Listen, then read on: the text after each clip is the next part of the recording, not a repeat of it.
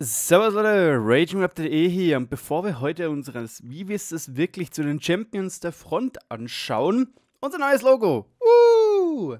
Äh, ich bin ziemlich froh, jetzt haben wir endlich unser eigenes Logo, also ein richtiges Logo, da wir auch die Rechte drauf haben, beziehungsweise die vom, ähm, vom Zeichner, aber ähm, er würde das dann übergeben im Fall der Fälle, wenn wir mal was machen möchten, im Sinne von zum Beispiel T-Shirts oder so, vor allem für mich dann an die Gamescom, wenn ich gehe dieses Jahr. Aber noch zwei kleine Sachen. Ich, fra ich frage mich, ob ich eventuell die ähm, Deutschlandflagge wieder drehen soll und das dann vor das Schweizer Kreuz legen soll, wie es davor war. Oder ob ich es so. Jetzt muss ich wieder jetzt erstmal dreimal so drücken, gefühlt. Ja, ja. Ja, ich glaube, ich kann einfach, ah, kann einfach raus escapen oder so lassen. Und als zweites ist natürlich die Frage, was soll denn der Raptor für einen Namen kriegen? Und ich bin momentan überlegen, Ragi oder so. Einfach, ja, auf der Nase, on the nose, aber gut ist. Sind wir ehrlich. Aber gut, das könnt ihr uns gerne noch in den Kommentaren ein bisschen be beschreiben oder beduseln. Und ja, die Frontline Champions. Wir haben, oder Wargaming gibt für uns, oder gibt uns zur Verfügung den Sumor SM, den wir kaufen können. Und sie sagen, es ist berüchtigt für sein Schadenspotenzial und die ordentliche Panzerung, zumindest für französische Maßstäbe. Dann natürlich der LP432. Ist ein leichter Panzer mit harter Hülle, wie geschaffen dafür, Gegner mit hohem Schaden pro Minute und großartiger Beweglichkeit unter Druck zu setzen. Der Carnarvon Action X ist eine stählerne Wand. Haltet die Wanne versteckt und bezwingt eure Gegner mit erstaunlichem Schaden pro Minute in eurem starken Turm.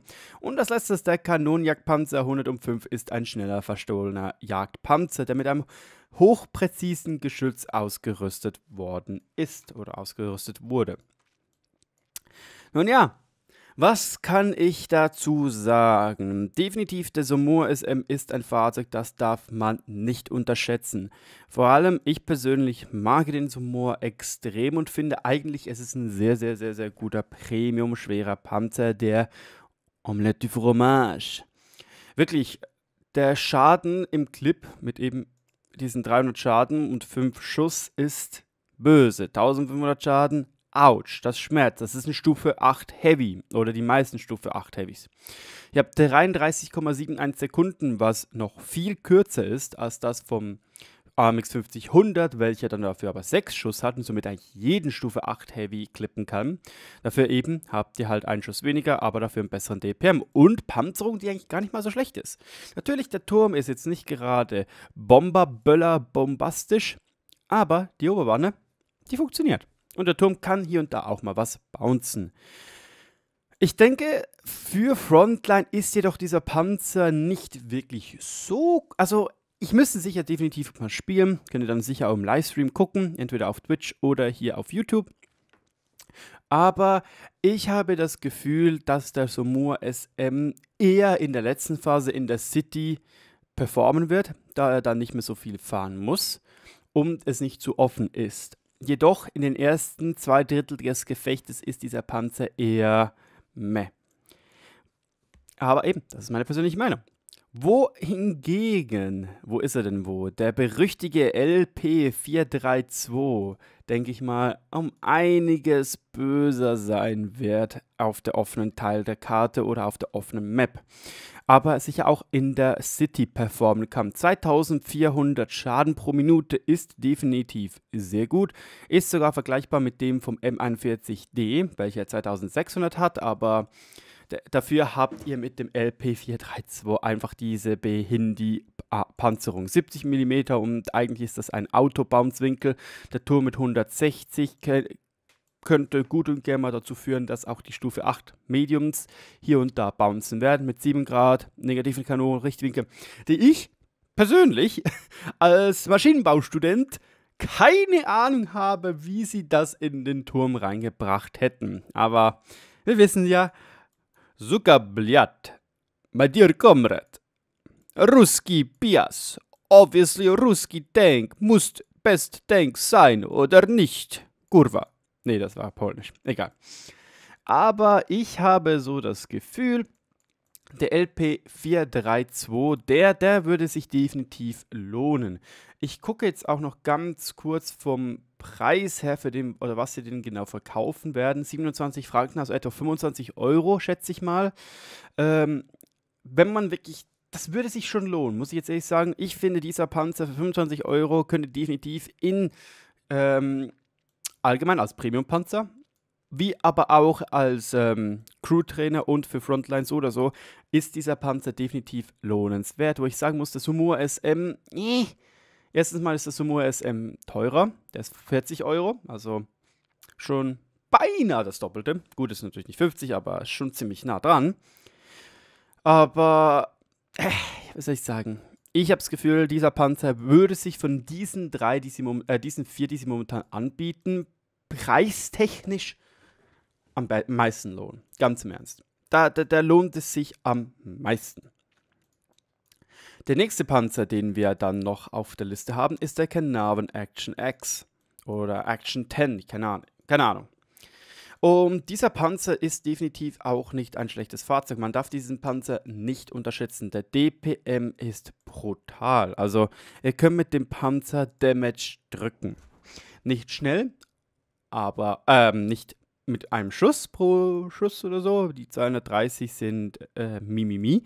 Aber der Schaden pro Minute ist heftig. Und ähm, der Turm hält auch mal was aus. Vor allem jetzt gegen Stufe 8er Fahrzeuge. Und das gleiche ist mit der, mit der Wanne, beziehungsweise mit der Oberwanne. Die Unterwanne, nee, natürlich nicht. Die Seiten natürlich nicht.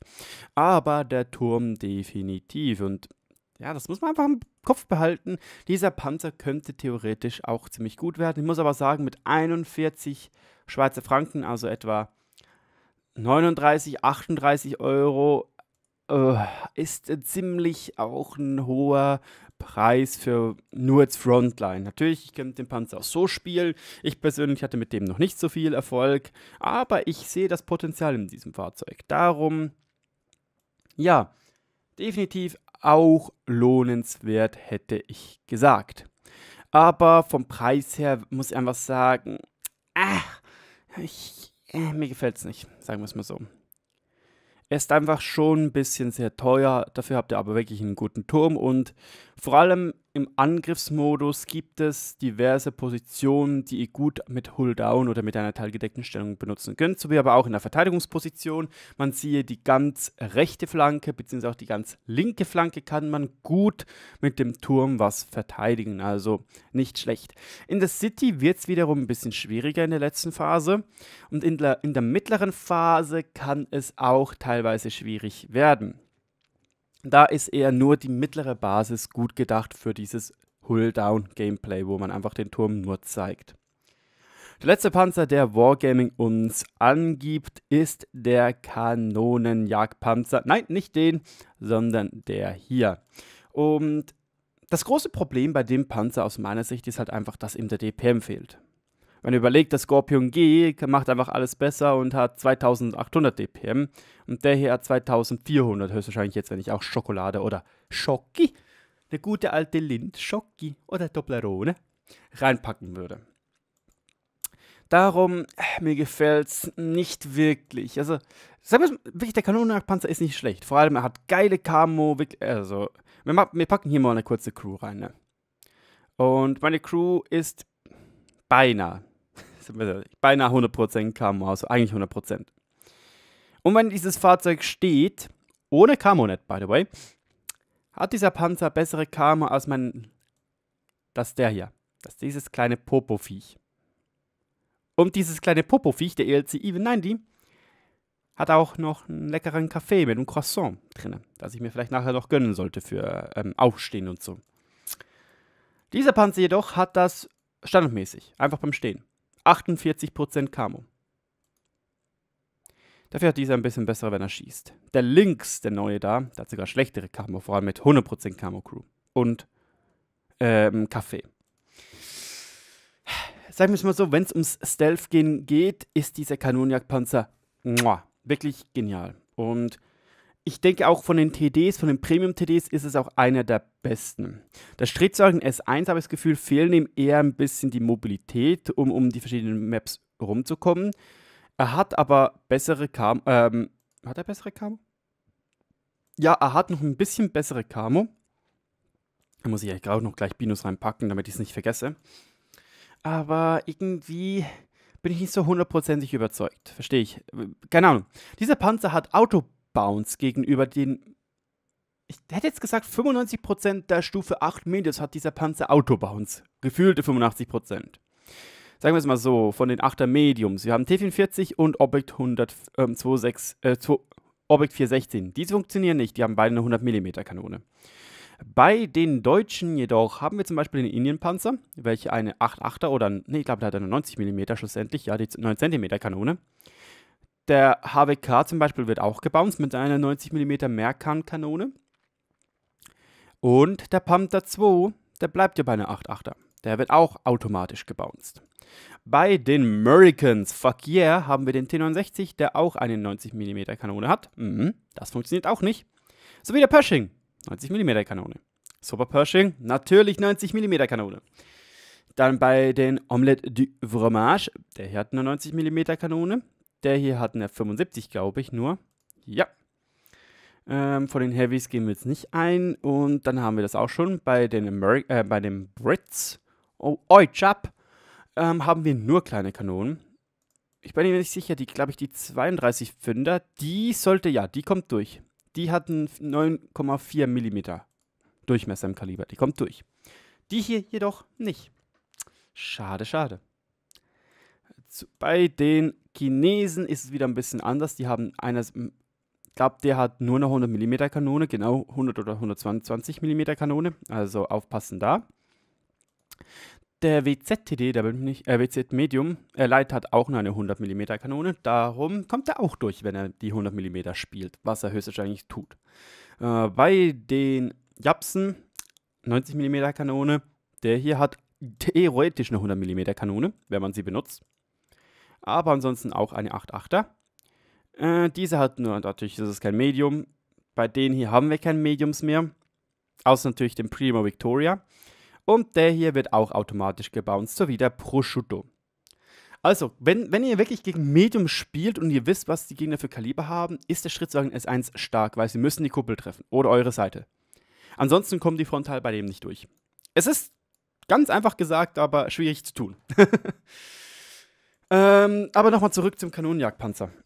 Ich bin mir ziemlich sicher, dass er ordentlich sein wird. Im Frontline-Modus, also definitiv nicht schlecht. Ich bin mir aber im Überlegen, ob ich den normalen Kanonenpanzer spielen soll, einfach und allein wegen dem DPM. Aber das ist natürlich die Frage, wieso soll ich den normalen Kanonenjagdpanzer spielen, wenn ich ja den Scorpion G spielen kann? Oder den Jagdtiger 8.8, weil der Jagdtiger 8.8, hey, es ist ein Jagdtiger auf Stufe 8. Und vor allem in einem 8er-Only-Gefecht. Ja, ja, ja, ja, ja, ja. Da, da, da könnte was passieren. Das könnte gut funktionieren. Aber gut, das sind so meine äh, Meinungen zu diesen Panzern, die momentan angeboten werden. Und ich muss sagen, der LP432 sollte mehr oder weniger auf der höchsten Prioritätsstufe sein für euch. Einfach aus dem Grund, es ist eigentlich ein Pocket-Medium, es ist ein kleiner Mini-Medium mit guten DPM. Darf man eben nicht vergessen, 2400. T44100 hat den gleichen DPM, das ist ein Medium, ne? Und ich habe mit dem bessere Sichtweite und ähm, die Möglichkeit, Tarnung während der Fahrt zu haben. Darum, dieser Panzer definitiv ein gutes Ding und auch noch vom Preis her ziemlich billig. Würde ich empfehlen. Danke vielmals für eure Aufmerksamkeit. Viel, viel, viel, viel Spaß in der ersten Episode von Frontline und viel Erfolg, euch da Panzer zu ergrinden, beziehungsweise euch den General und die Prestige-Stufe 3 zu ergrinden. Danke vielmals und vergesst nicht zu sagen, was ihr über Reiji, den Raptor, denkt. Danke vielmals. Ciao, ciao.